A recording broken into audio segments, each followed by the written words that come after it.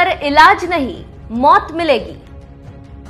तानाशाह Kim Jong का दिल दहलाने वाला आदेश। कोरोना पीड़ित को सुनाया गोली मारने का फरमान। नमस्कार, मैं हूँ दिबांजलि मोइत्रा उत्तर कोरिया में कोरोना वायरस की चपेट में आना मना है। नॉर्थ कोरिया में कोरोना हुआ तो खैर नहीं। किम जोंग के राज में कोरोना हुआ तो उसका इलाज नहीं होगा। उसका जड़ से इलाज कर दिया जाएगा। उत्तर कोरिया के शासक किम जोंग उन को तानाशाह क्यों कहा जाता है। ये उन्होंने फिर से साबित कर दिया। जो किम जोंग सीधे अमेरिकी राष्ट्रपति को धमकी देता था, जो किम जोंग पूरे अमेरिका को उड़ाने की धमकी देता था, वो किम जोंग अपने देश में कोरोना के एक मरीज़ से इतना खौफ में आ गया कि उसको ऐसा फरमान सुना दिया, जिसे सुनकर किसी के भी रोंगटे खड़े हो जाए।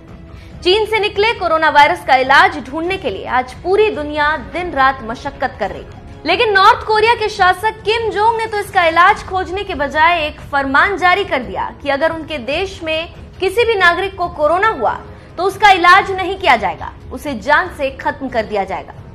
दरअसल उत्तर कोरिया में हाल ही में चीन से एक अफसर लौटा था, जिसे पहले तो इस शक में आइसोलेटेड वार्ड में रखा गया था कि कहीं उसे कोरोना ना हो, लेकिन बाद में उसे गोली मारने का आदेश सुना दिया गया, ताकि पीड़ित व्यक्ति से ये वायरस किसी दूसरे शख्स तक ना पहुँचे। कोरोना को रोकने के लिए किम जोंग के इस फरमान से उत्तर कोरिया के लोग बेहद डरे हुए हैं। लोग इतना घबराए हुए हैं कि वो अब अपनी ही सरकार से चीन यात्रा को छुपाने की कोशिश कर रहे हैं। उन्हें डर लगता है कि कहीं अगर किम जोंग को ये पता चल गया तो वो उन्हें गोली मरवा देगा।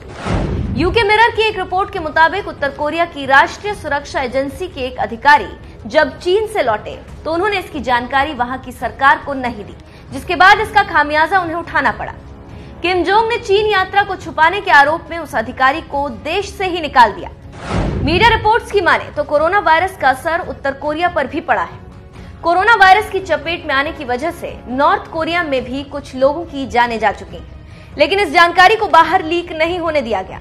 इससे पहले भी ऐसी ही खबर आई थी, जब किम जोंग ने कोरोना वायरस से पीड़ित होने के शक में एक शख्स को गोली मार दी थी। दरअसल पूरी दुनिया में कोरोना ने कोहराम मचाया हुआ है।